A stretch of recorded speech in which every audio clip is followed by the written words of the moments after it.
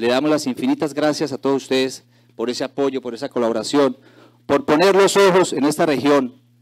de cierta forma abandonada en otros gobiernos, pero que en este gobierno quiere darle la oportunidad para que nosotros como comunidad, comunidad alejada podamos salir adelante. Estas iniciativas que nacen de la comunidad a través de la ART, a través del movimiento social del departamento de Arauca, darle el reconocimiento a ellos, porque allí es donde se crean esas necesidades, esas necesidades para nuestra población del área rural, también del área urbana. Decir que estos equipos que recibimos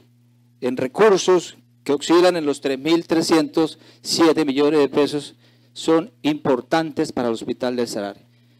Importantes para la prestación de servicios, recordando que nosotros como Hospital de Sarare somos referentes dentro del departamento de Arauca, que le prestamos servicios de salud al municipio de Saravena, a los municipios del departamento de Arauca, pero también a los municipios cercanos del departamento de Boyacá y norte de Santander y toda el área de la frontera de nuestra hermana República Bolivariana de Venezuela.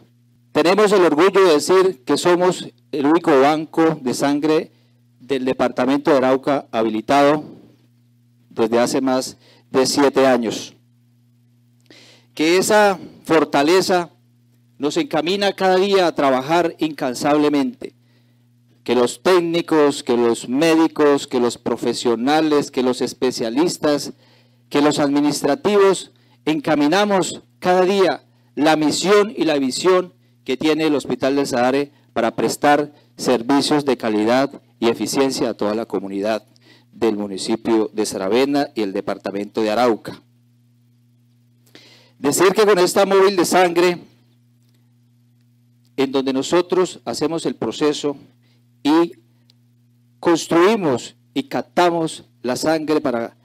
adquirir los glóbulos rojos, las plaquetas y el plasma que se necesitan, necesitan día tras día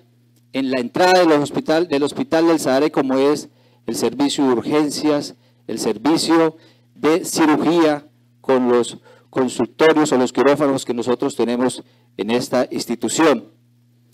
Decir que estamos prósperos a abrir la UCI en el Hospital del Sarare y que este servicio que nosotros vamos a tener con esta unidad móvil, en donde nosotros podemos llegar a los territorios alejados, a las comunidades alejadas, a las veredas, para poder nosotros captar este servicio de sangre y poderle prestar este servicio a la comunidad en cuanto a la operación del nuevo servicio y la habilitación de la UCI. Importante este servicio. Con esto nosotros mejoramos la atención médica en emergencias, como lo decía, para el tema de urgencias. También fomentamos la cultura de donación, en donde vamos a llegar a las comunidades y podamos captar este servicio tan importante para salvar vidas. Recordemos que con una donación que nosotros hagamos o el ciudadano haga, salva la vida de aproximadamente tres personas. También decir que disminuyen los costos de transporte para que la logística en la cual nosotros actualmente prestamos ese servicio, que es a través de una móvil de odontología, ya nos va a quedar más fácil que nosotros podamos entrar a esos territorios y también a sectores importantes dentro del municipio y los demás municipios para que podamos captar el servicio de sangre. También decir que la unidad ginecológica que contiene un ecógrafo y un mamógrafo y una camilla ginecológica, importantísimo también para la atención de nuestros pacientes, nuestros usuarios.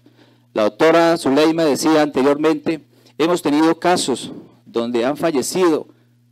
pacientes, mujeres, porque no se les ha hecho el procedimiento de prevención, de detección del cáncer de mama o de cáncer uterino. Con este, con este equipo nosotros podemos llegar a esos territorios, podemos llegar a esas familias de escasos recursos donde a veces no tienen la posibilidad de acercarse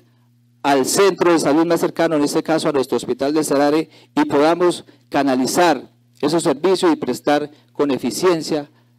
a la comunidad que lo requiere.